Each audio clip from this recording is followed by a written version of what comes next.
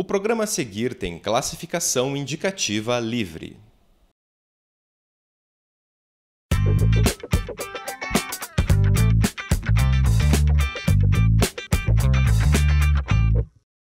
Antes de mais nada, eu te convido a escutar um pouco esse som.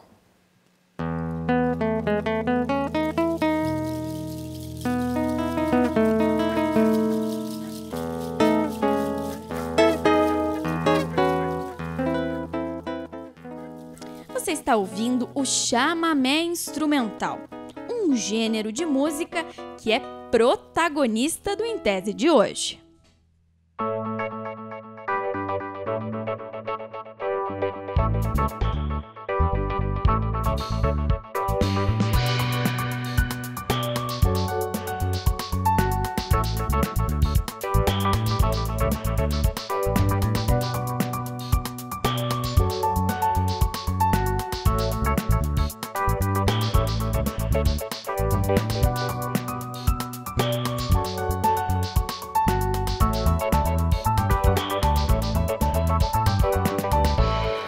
Programa de hoje, nós falamos de uma pesquisa de mestrado do programa de pós-graduação em música aqui da UFPR. Esse estilo musical, o chamamé, foi estudado pelo mestre Júlio César Matos Borba. Quem acompanhou todo o processo foi o seu orientador, professor Edwin Ricardo Pitre Vasques. Sejam muito bem-vindos ao Intese. Muito obrigado. Obrigado. Júlio, primeiro de tudo, o que é que é o chamamé instrumental? Opa, essa é uma pergunta muito difícil que eu demorei esses anos aí para responder. Eu posso dizer que é um gênero transnacional, um gênero musical transnacional, né? Que tem algumas características específicas, algumas características musicais específicas, né? Uhum. E tem uma forte ligação com a cultura indígena guarani e uma forte ligação com a música europeia, né? A música uhum. tonal europeia. Então é uma mistura aí, Sim, né? exatamente. Maravilha, a gente já vai falar mais dele daqui a pouco. Uhum. E para quem não conhece, professor, esse estilo musical que nunca tinha ouvido, ou que talvez tenha ouvido, mas não ligado ao nome, é, com que música que a gente pode dizer que esse estilo é parecido? É, o chamamé, a polca, a guaranha, uhum. fazem parte de um complexo genérico musical uhum. que, como já bem falou o Júlio, o Júlio é transnacional. Uhum. Então estamos falando de pelo menos três países, às vezes quatro, mas basicamente Argentina, Paraguai e Brasil. Maravilha. E Júlio, vem cá, é, a escolha do tema da sua pesquisa tem a ver com o quê? Tem a ver aí com seu local de nascimento, um pouco da sua história? Claro, tem a ver com a minha história. Eu nasci em Mato Grosso do Sul, na capital Campo Grande, e lá é, junto da minha família, eu tive uma grande influência da, da cultura paraguaia e cultura gaúcha, né? Uhum. Meu pai é gaúcho, minha mãe é paraguaia. E sempre teve muita música dentro de casa.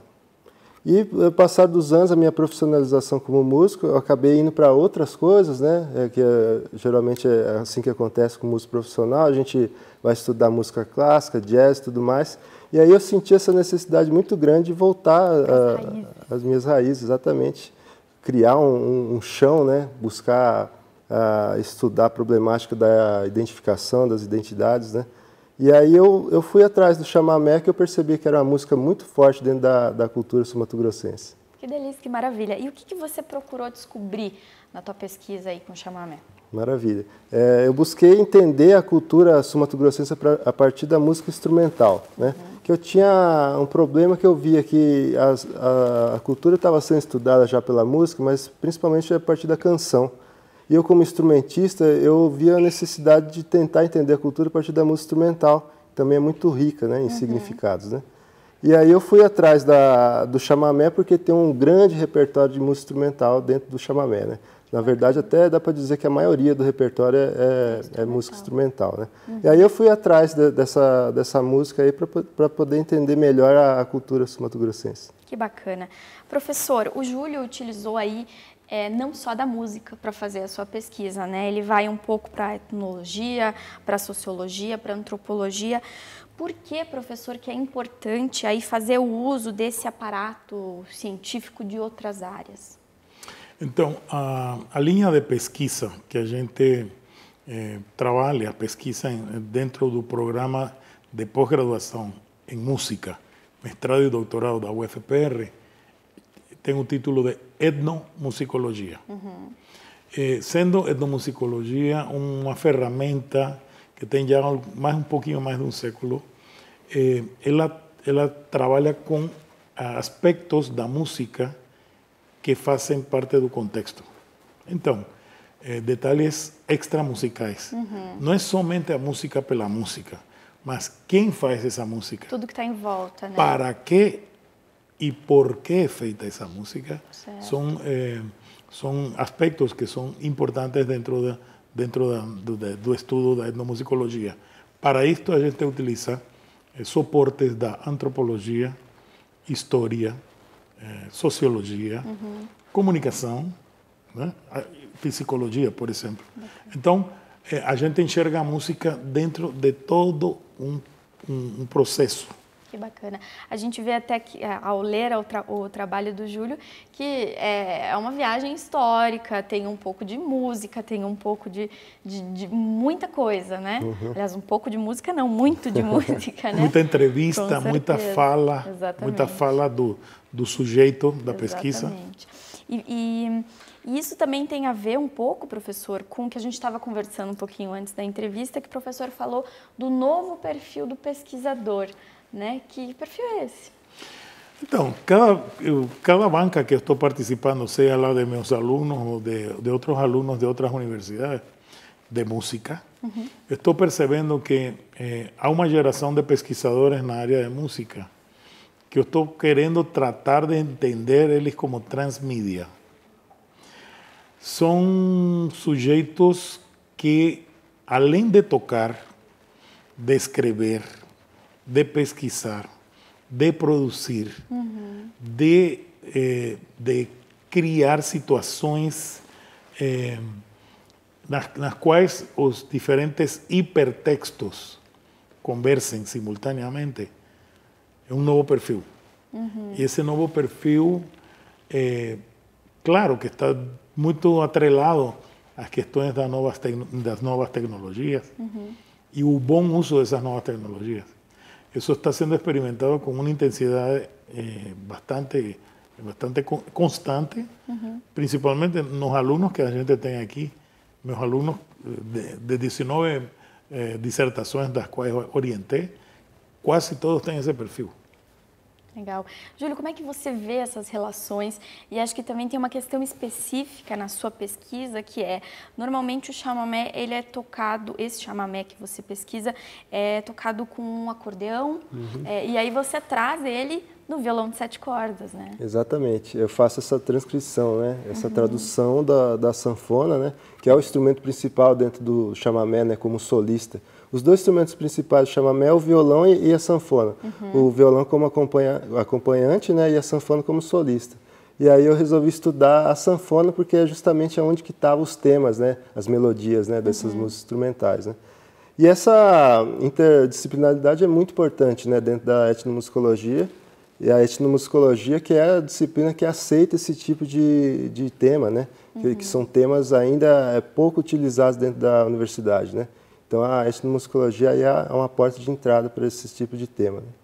E como é que você vê ela especificamente na sua pesquisa? Porque ah, é só a partir dela que você pode trazer aí um pouco da história do, do chamamé, das questões eh, sociais dele, que a gente vai comentar um pouco no próximo bloco. Foi, foi importante isso para a tua pesquisa, Sim. né? Entender a música como cultura é uma base da etnomusicologia, né? Então, a partir disso, eu comecei a estudar música e, e entender como é que ela se relaciona com outras práticas culturais, né? Então, a partir daí, foi possível entender muitas coisas da, da cultura sul-mato-grossense, do país e, e da América do Sul, né? Em, em âmbito geral, assim. Maravilha. Bom, a gente vai fazer uma pausa. O Em Tese de hoje está conversando com o mestre em música Júlio Borba e o professor Edwin Pitre Vasques sobre o chamamé instrumental. A gente volta a falar desse estilo musical daqui a pouquinho.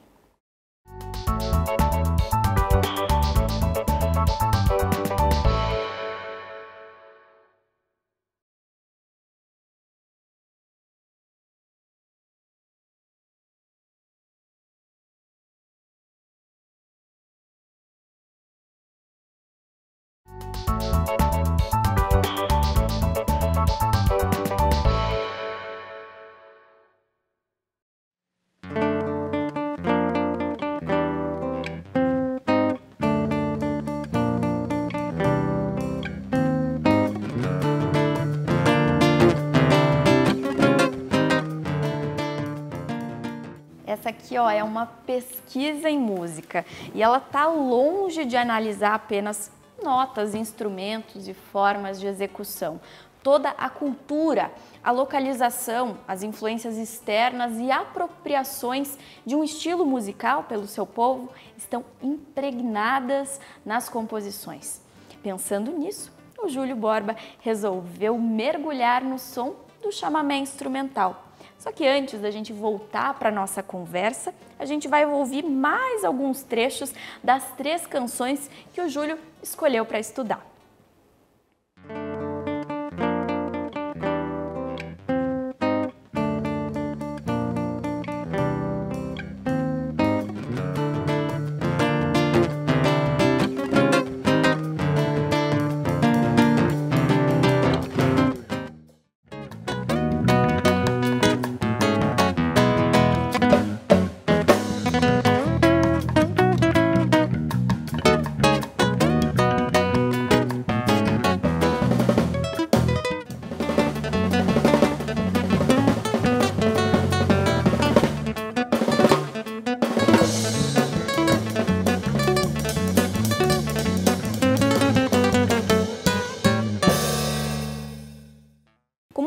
Interseção se dá, né, e de que forma que esse estilo chega ao Brasil e ao Mato Grosso do Sul, uhum. especificamente? Eu, eu, percebia sempre quando eu via um, uma entrevista de jornal assim, falando que o chamamé era argentino, né? Uhum. E aí eu comecei a, a, ler sobre isso e eu vi que existe uma grande relação de poder aí, né? E uma grande estigmatização da cultura paraguaia.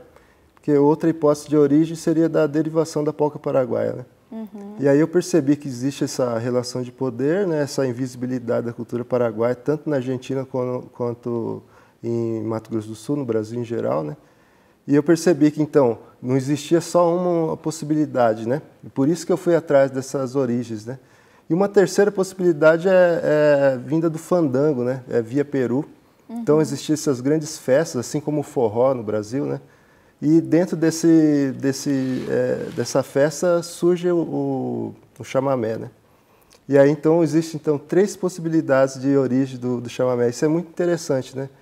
Porque meio que contraria essa, esses conceitos estabelecidos, né? Que está relacionado essa, essa, questão de poder, né? Entre entre povos, né?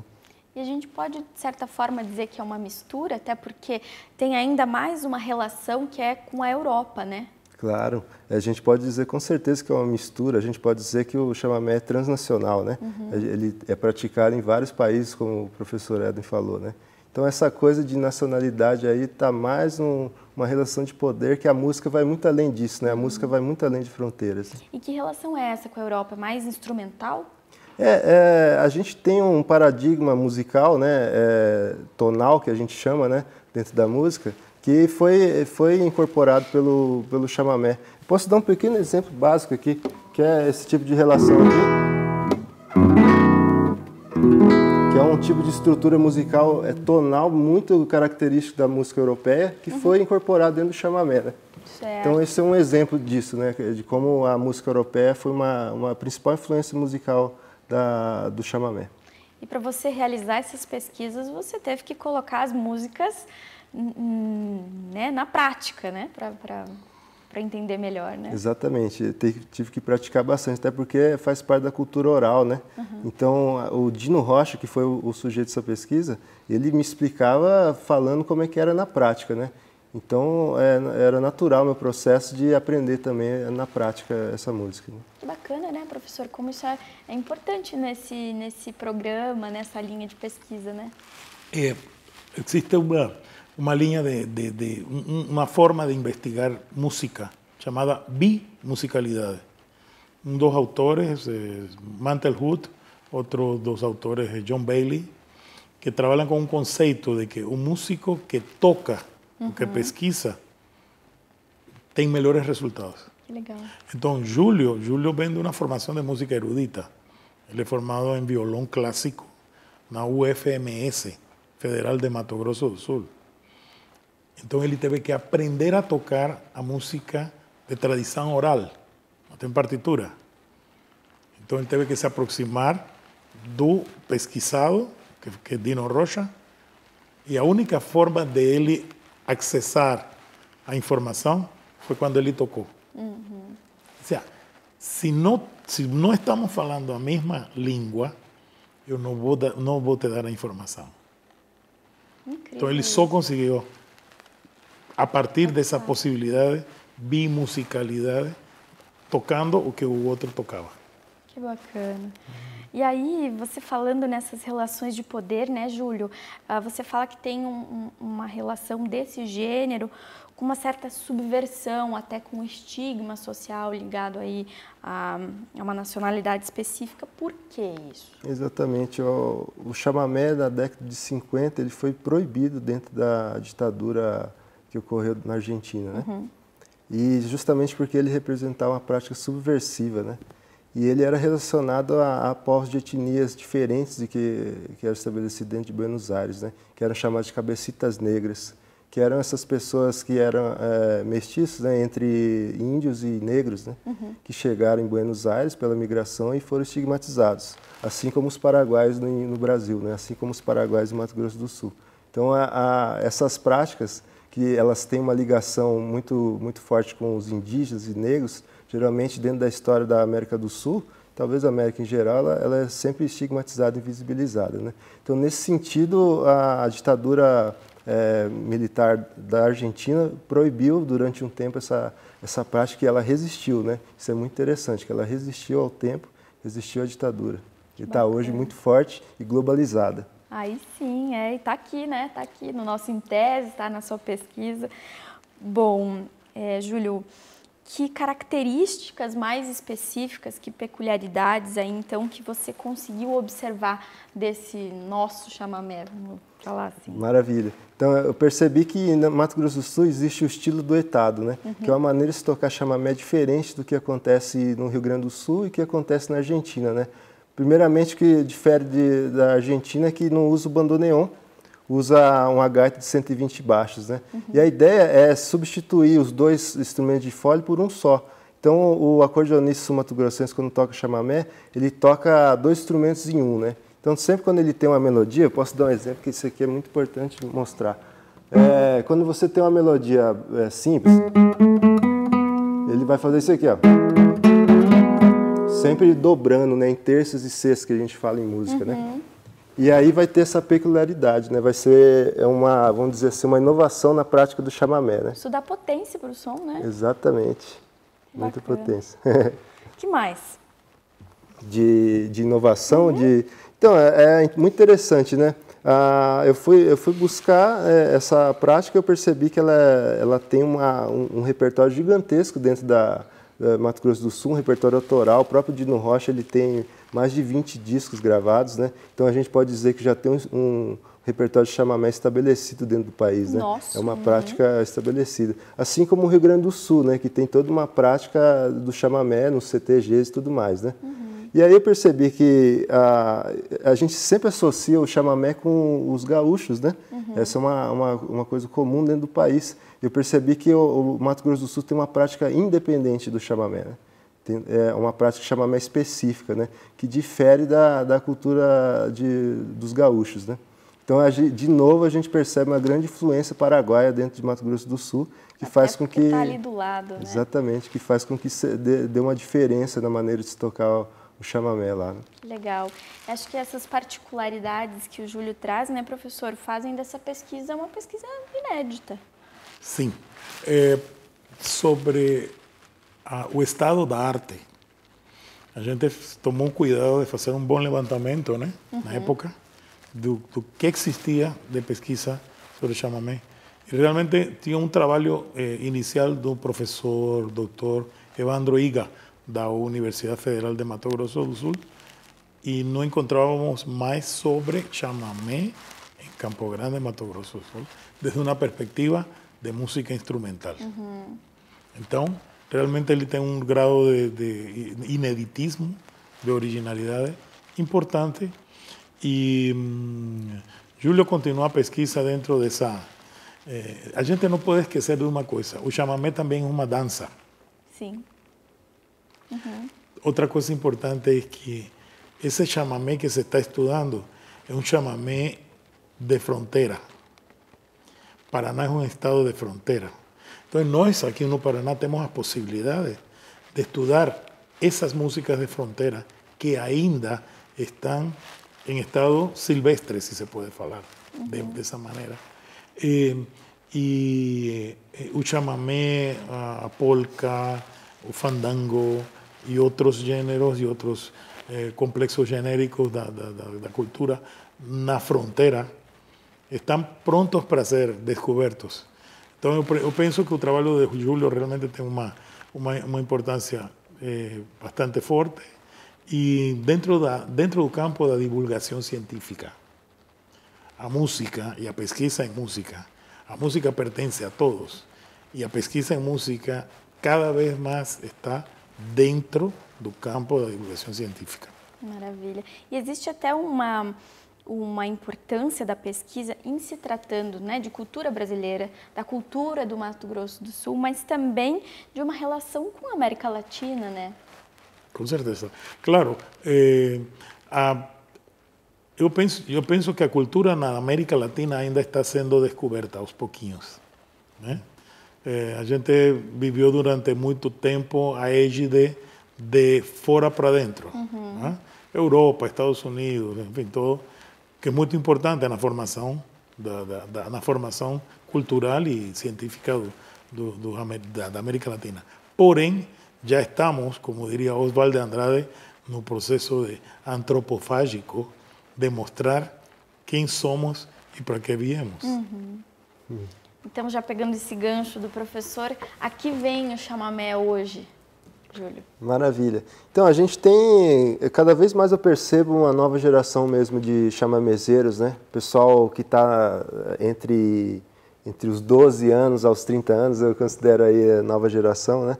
Pessoal tocando muito, tocando chamamé e, e mostrando que o, o chamamé tem outras possibilidades, né? Isso é muito interessante, porque o chamamé tem um lado, a prática do chamamé tem um lado que é super conservador, muito importante também, né, para se manter as práticas, e outro que, que é esse que faz fusões, né, que faz fusões com a música clássica, que faz fusões com jazz, e que faz fusões com chorinho, né, igual você vê o Yamandu Costa e outros grandes músicos, né, que estão fazendo essas fusões do chamamé, e você percebe que o chamamé é uma coisa muito rica, que pode somar aí na prática da música popular brasileira também, né.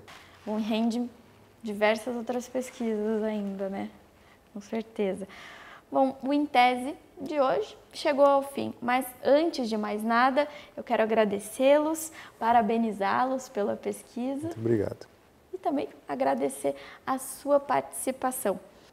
E para ter acesso à pesquisa do Júlio Borba na íntegra, basta acessar o banco de teses e dissertações da UFPR. No YouTube estão disponíveis as edições anteriores do Intese. Todo esse conteúdo é aberto e gratuito. Quem sabe na semana que vem a gente não descobre um outro estilo musical, uma pesquisa sobre cultura ou sobre turismo.